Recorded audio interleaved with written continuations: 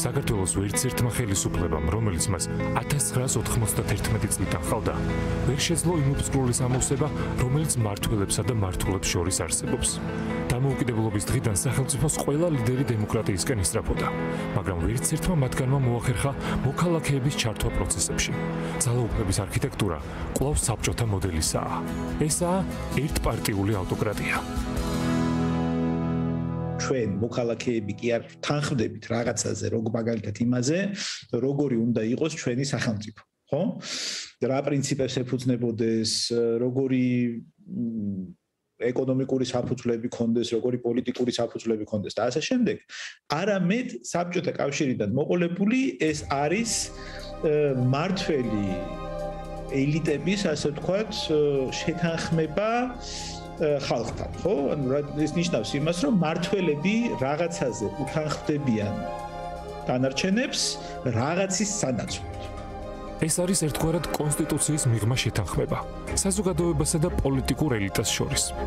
არჩეული მართველი ასრულებს გარკვეულ დაკვეთას. სანაცვლოდ კი ხალხმა უნდა მოითმინოს თავისი პოლიტიკური უფლებების შეზღუდულობა. დომინანტი არის არა რაღაცის გააზრება, არამედ აი ეს ცნობიერება ყალიბდება სპონტანურად, ექსტატურად, რაღაცა ისტერიული ფორმებით მიტინგებზე. ფაქტობრივად თელი ის საზოგადოებრივი ხელშეკრულება გაფორმდა მიტინგებზე, რომლის მონაწილეთა დიდმა ნაწილმა არც იცის რას უჭერს მხარს ან რატომ უჭერს მხარს, რა ლოზუნგს მიყვება. ეს არის მთლიანად ემოციების ფრქვევა და ემოციებისგან დაცლა. თითქმის არ მახსოვს ეკონომიკაზე სერიოზული მსჯელობა, აი რა უნდა ვქნათ მე როცა დამოუკიდებლობას მოვიპოვებთ.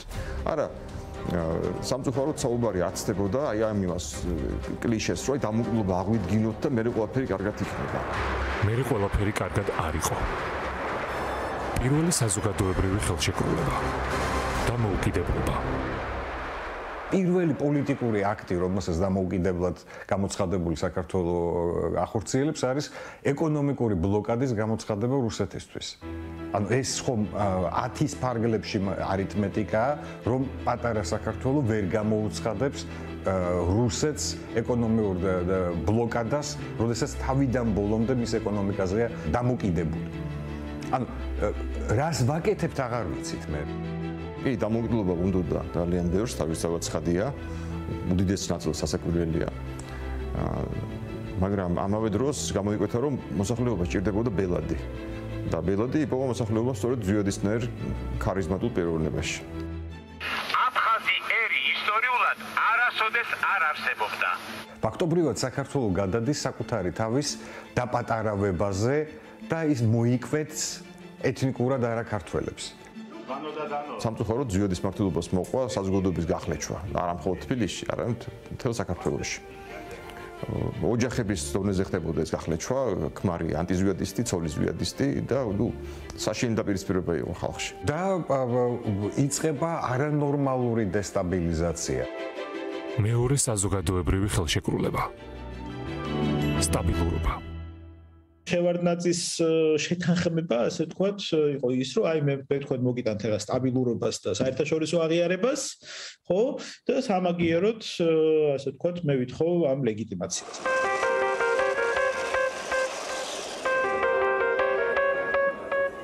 როგორც ზუიადის კრიტიკა არ არის მოდაში ასევე მოდაში არ არის მოიხსენებათ შევარნაძის ქება მაგრამ ნუ შევარნაძე ბევრი კარგი რაღაც გააკეთა ბოლოს ფედრიონი მე ალაგმა როგორც ცნობილია აკო თბილისი ჯეიჰანის განხორციელებაში ამ პროექტის განხორციელებაში მიიღო უდიდესი მონაწილეობა და ამ პროექტმა რეალურად საქართველოს დააბრუნა სოფლიურ გაზეთში შეიძლება ითქვას. მაგრამ ქვეყნის შიგნით შევარნაძე მიანდო აი ამ სტაბილურობა რის ფასად მოხდა სტაბილიზაციის დამყარება რა პოლიციური საშუალებებით და თვითონ ეს პოლიცია იქცა კრიმინალურ ძალად.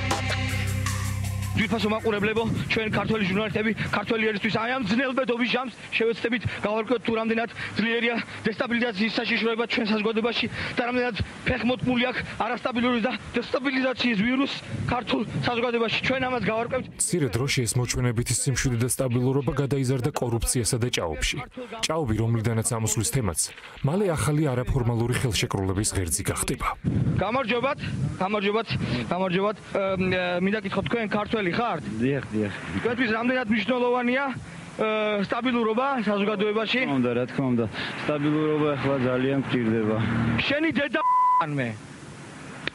ოხ, ჩემი. ვა! შემი დედა სტაბილურობა, სტაბილურობა, ეთილღეობა, სტაბილურობა. აგახსოვთ, დამორდა 92 წელს. დამშვიდით. სტაბილურობა. სიმშვიდე. როგორც ხედავთ, ჩაოლებრივი ქართველი მოქალაქისთვის სტაბილურობის ელემენტები ჩენი დედა მე ძალიან მნიშვნელოვანია. ყველამ ერთად გავიმარჯვოთ ჩვენს ტერზე.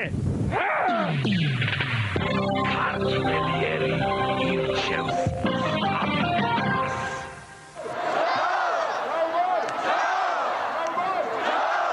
მესამე საზოგადოებრივი ხელშეკრულება მოდერნიზაცია მე როგორ მოთხოვნა არის ცვლილებებზე მოთხოვნა არის მოდი პირდაპირ თქვა ქვეყნის გადარჩენაზე სწრაფი ეკონომიკური მოდერნიზაცია, სწრაფი წინსვლა სინგაპურიზაციის სახელით რაც იყო მე ცნობილი, ხო? ანუ ჩვენ ფაქტიურად უზრუნველყოფთ თქვენს ეკონომიკურ კეთილდღეობას და სწრაფ ზრდას, ოღონდ ჩვენ ჩებით თავრობაში ლამის უსასრულო.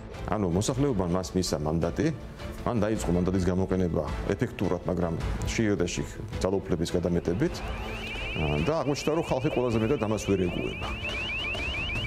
სააკაშვილის ძირითადი შეცდომა მდგომარეობდა იმაში, რომ მისი ძირითადი იდეა იყო ვესტერნიზაცია და არა რეალურად დემოკრატიზაცია.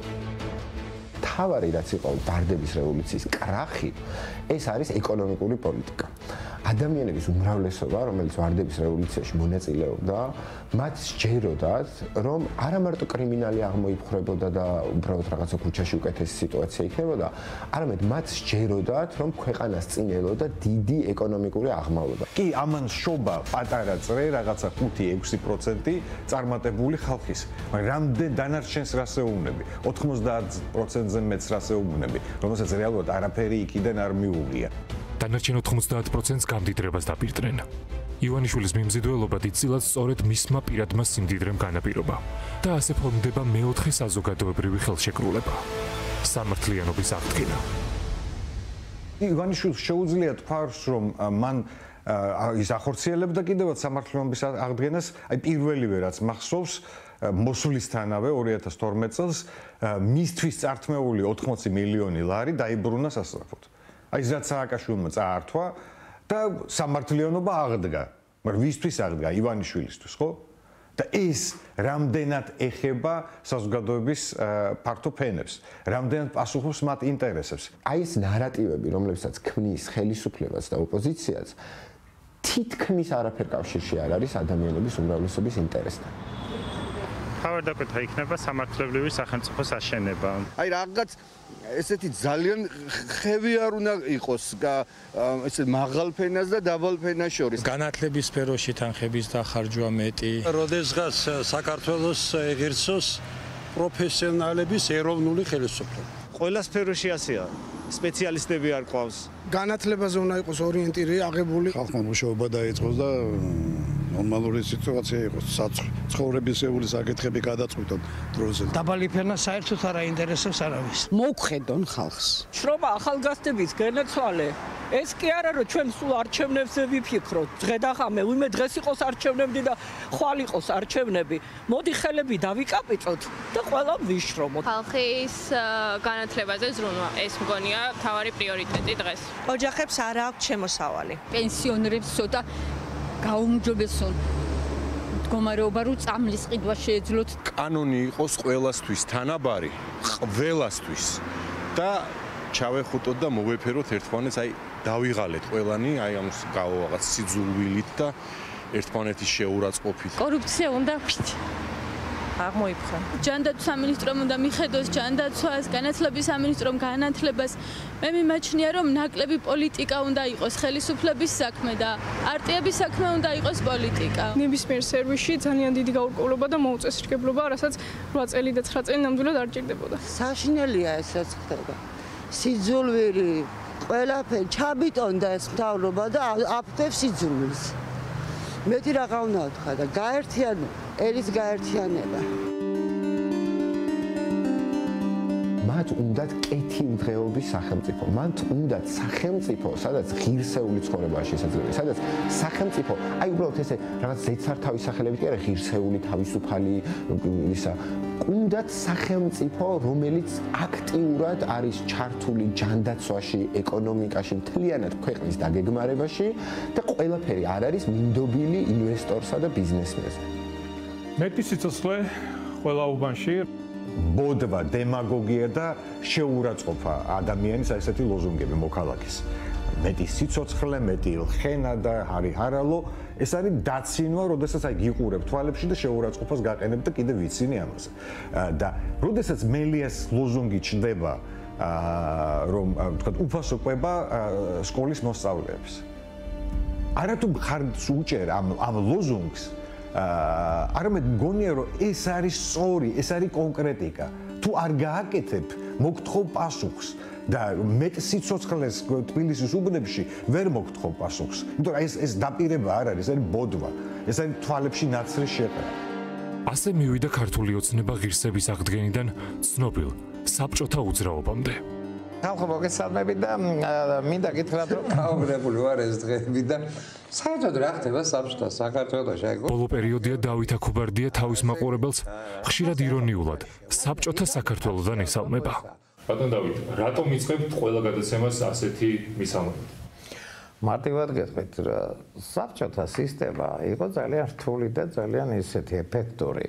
ესე იგი მასების დამორჩილებისა და შესაბამისად სახელმწიფო ინტერესებს აიგივებდნენ პარტიული ინტერესებს და პარტიული ინტერესების რეალიზაციის საუკეთესო საშუალება იყო. მე რატომაც მეგონა დავით რომ აი ფაქტიურად რა ვიცი ახლა აი 90-იანი წლების გამოსვლა იყო ამის საწინააღმდეგოდ მიმართული. აღარ გვინდოდა ეს ერთპარტიული ავტორიტარული მართლობა. დღეს ისევ ამ ფაზაში ვარ. ოპოზიციის ამომრჩეველთა რაოდენობა მზარდია. გამოკითხები წადასტურებს, რომ ახალი დაკვეთა ჩნდება ძალაუფლების გადანაწილებაზე და კონკრეტული სოციალური პრობლემების მოგვარებაზე და არა აბსტრაქტულ სიკეთეებზე. ამიტომაც ქართულ ოცნებას აშინებს, რომ მეორე ტურში გაჩენილი ოპოზიციური კოალიცია კონკრეტული საარჩევნო დაპირებებით სწორედ ამ ხელშეკრულების მხარი შეიძლება გახდეს. აი ეს ფარსი, რომელიც მათ დადგეს, რომ თითქოს რაც კოალიციური მთავრობის რაღაც უნიკალური პრეცედენტი შექმნის. ხელისუფლება ჩვენია, ცენტრალურ მთავრობა ჩვენია. ჩვენს გარეშე ნაბის ვერ გადადგამს თეორიულადაც ვიძახი. რომ სარჩეულიყო და ჰიპოთეტურად ვამბობ რომ ნებისმიერ მუნიციპალიტეტში სხვა კანდიდატი რომ გავიდეს ცენტრალური მთავრობის გარეშე პერსპექტივა არ აქვს უბრალოდ. ეს არის თავის მოთხოვება. პრემიერის სიტყვები რომ მარტივენაზე ვთარგმნოთ ნიშნავს, რომ თუ პირობითად რომელიმე ქალაქის მოსახლეობა მერად ოპოზიციის კანდიდატს აირჩევს, ჩვენ ამ მოქალაქეებს დავსჯითო. რადგან ყველა ქალაქი ფინანსდება ცენტრიდან, ცენტრალური მთავრობა კი ჩვენიაო. იმის გამო რომ მთელი საქართველოს თბილისიდან იმართება, დღეს პრემიერი აძლევს თავისუფლებას ასე ელაპარაკოს საკუთარი ქვეყნის მოქალაქეებს, რომელთაც აღარ სურთ ოცნება და თვლიან, რომ დადგა დრო ახალი საზოგადოებრივი ხელშეკრულების, რომელიც თუ ისთან გაფორმდება და გაფორმდება თუ არა საერთოდ, ამას არჩევნების მეორე ტური გვიჩვენებს.